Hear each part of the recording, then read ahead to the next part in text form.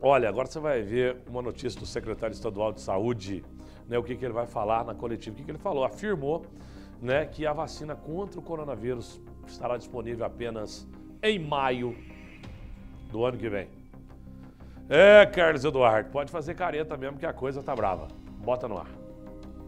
Elas demoram pelo menos 18 meses entre o desenvolvimento e efetivamente elas estarem disponíveis para a população como um todo.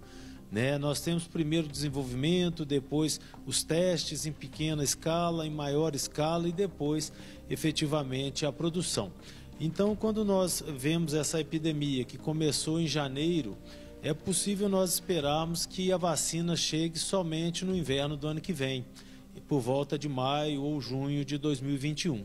Antes disso, do ponto de vista de uma vacina para toda a população, é possível que seja difícil, é pouco provável que nós tenhamos uma vacina. É, aí fica a minha pergunta para você que está em casa. E aí, José?